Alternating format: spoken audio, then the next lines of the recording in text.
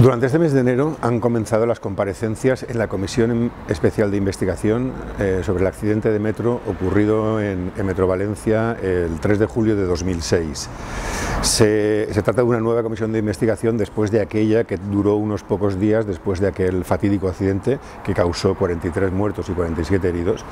y que fue una, comisión de investigación totalmente fraudulenta, pues se vetaron muchos documentos y la comparecencia de muchísimas personas.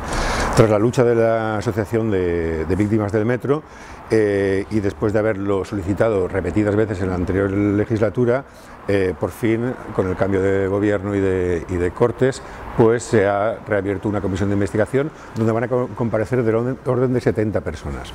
Durante este mes de enero ya ha habido tres sesiones, hoy es la cuarta,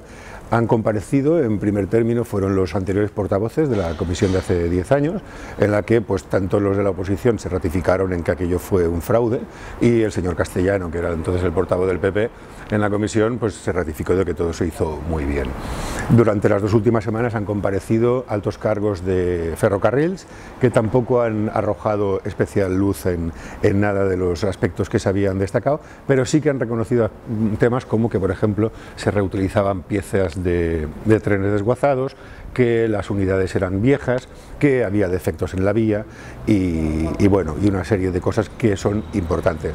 Hoy tenemos una comparecencia muy especial de la que eh, esta tarde al acabar eh, haremos una nueva mini crónica y a partir de ahora todos los viernes haremos una mini crónica para que la, gente tenga información de primera mano desde el punto de vista de, compromiso que es mi papel.